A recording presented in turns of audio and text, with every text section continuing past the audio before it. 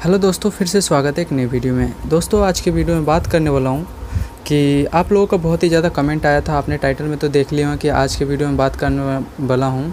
Phone has been suspended close app और send feedback तो आपको यहाँ पे ये ऐसा कुछ लिखा हुआ आए तो आपको सिंपली यहाँ पे फीडबैक पे क्लिक करके सेंड कर सकते हैं अपने प्रॉब्लम बस यही लिख देना है और बोल देना है कि ये प्रॉब्लम आ रही है।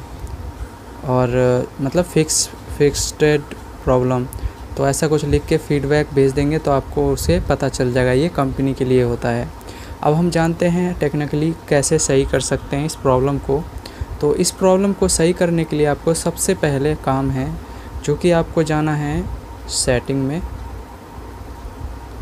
आप, हर फ़ोन का अलग अलग होता है तो आप देख लीजिएगा।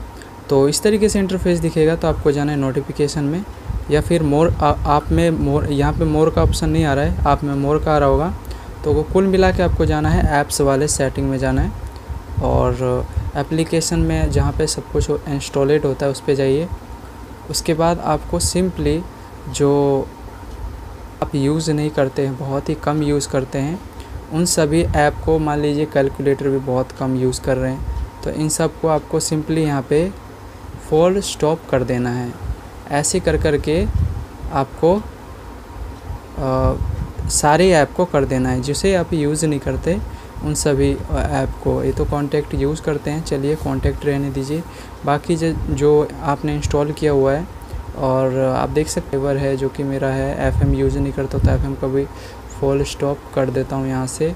और ये सारे आपका बैकग्राउंड में जितने भी जो यूज़ हो रहा होगा वो सब यूज़ नहीं होगा, ठीक है?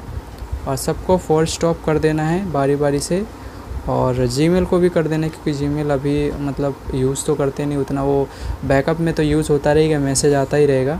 गूगल को भी कर सकते हैं, अगर गूगल यूज़ नहीं करते, अगर क्रोम ब्राउज़र यूज़ करते हैं तो कीवर्ड्स वगैरह फालतू का जो भी चीज़ हो, और रिवॉर्ड गूगल पे अमेजोन वगैरह कुछ भी हो, सबको, ये गूगल मूवीज़ इन सबको आपको फुल स्टॉप कर देना है। गूगल म्यू प्ले म्यूज़िक इन सबको आपको फुल स्टॉप कर देना है।